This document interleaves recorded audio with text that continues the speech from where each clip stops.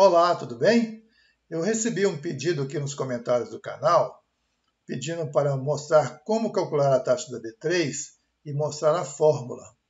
Então é esse que vai ser o tema do vídeo.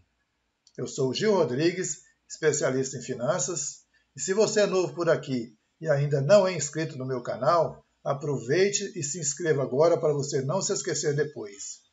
E se você vem sempre aqui e ainda não se inscreveu, se inscreva também e ative o sininho para você receber as notificações toda vez que eu postar um vídeo novo. Conheça meu blog Dinheiro que Rende, onde você vai encontrar bastante conteúdo sobre investimentos financeiros de renda fixa. E conheça também minha loja de planilhas, Planilhas Chugou, onde você vai encontrar planilhas financeiras prontas para você simular e controlar investimentos financeiros de renda fixa, empréstimos e financiamentos. Para responder essa pergunta aqui do Getúlio, Getúlio Vaz, eu vou utilizar o simulador do Tesouro Direto e também vou utilizar o Excel. Mas antes de entrar no mérito da questão, vamos relembrar alguma coisa aqui sobre a taxa de custódia. A taxa de custódia atualmente está em 0,25% ao ano. E essa taxa é cobrada semestralmente, no dia 1 de janeiro e no dia 1 de julho de cada ano. E o valor mínimo é 10 reais.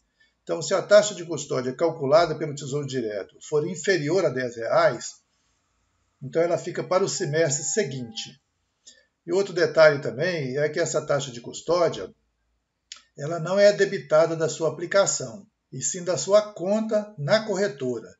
Então, todo dia 1 de janeiro e todo dia 1 de julho de cada ano, se você tem aplicação lá no Tesouro Direto, você tem que deixar na sua conta da corretora o valor disponível correspondente à taxa de custódia para que o débito seja feito na sua conta. Ok? Então agora aqui eu já estou no site do Tesouro Direto e aqui vou fazer uma simulação da aplicação. O Tesouro Direto vai calcular para mim a taxa de custódia e eu vou conferir no Excel e mostrar a fórmula no Excel. Então vamos lá. Eu tenho aqui simulador, Quero simular uma aplicação. Vou escolher aqui o Tesouro Selic 2025 e vou clicar aqui embaixo em simular. Aqui vou informar o valor que eu quero investir. Vou colocar aqui 10 mil reais.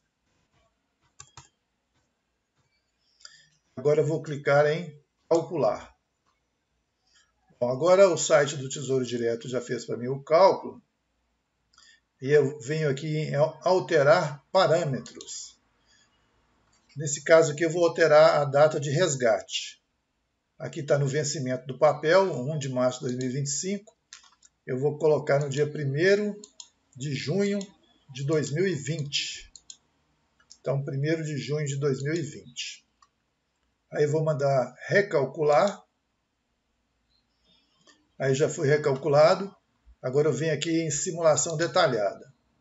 Então a taxa de custódia aqui, ó, ela deu R$ 12,50. Então tem aqui o título, aplicando 10 mil reais, tem o resgate bruto aqui de R$ 10.206,78 e tem aqui os custos de R$ 12,50. Esses custos aqui é exatamente a taxa de custódia.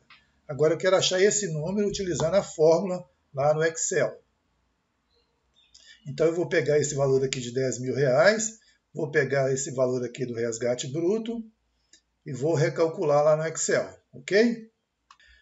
Agora aqui eu já estou na planilha do Excel, onde eu tenho a data inicial no dia 3 de 12 de 2019, resgate no dia 1 de 6 de 2020, o que dá um prazo de 181 dias.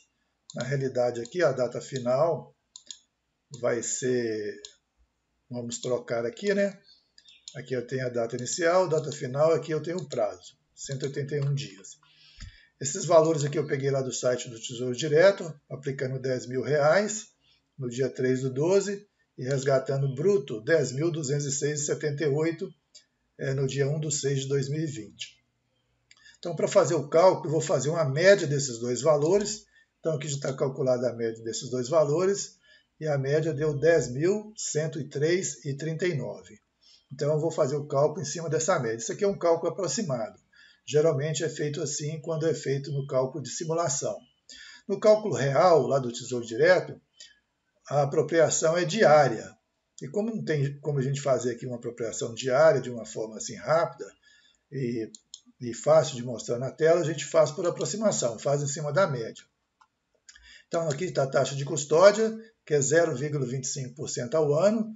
Agora o que, que eu vou fazer? Eu vou pegar essa taxa de custódia, vou colocar uma fórmula aqui, ó, igual a taxa de custódia, que é 0,25, é multiplicado é, pelo valor da média, depois dividido por 365, é a quantidade de dias do ano, multiplicado de novo pelo prazo que a minha aplicação ficou lá no Tesouro Direto. Então, eu dou Enter e aqui eu já tenho o valor da taxa de custódia. Então, nesse caso, deu 12,53. E lá no site do Tesouro Direto, eu achei 12,50. Então deu uma diferencinha aqui de 3 centavos, mas é só questão de arredondamento. Então é dessa forma que você vai calcular a taxa de custódia da B3. Ok? Valeu? E aí, gostou do vídeo? Se você gostou, deixe o seu like, inscreva-se no canal, ative o sininho para você receber notificações toda vez que eu postar um vídeo novo e também compartilhe esse vídeo com seus amigos. Muito obrigado, um abraço e até o próximo vídeo.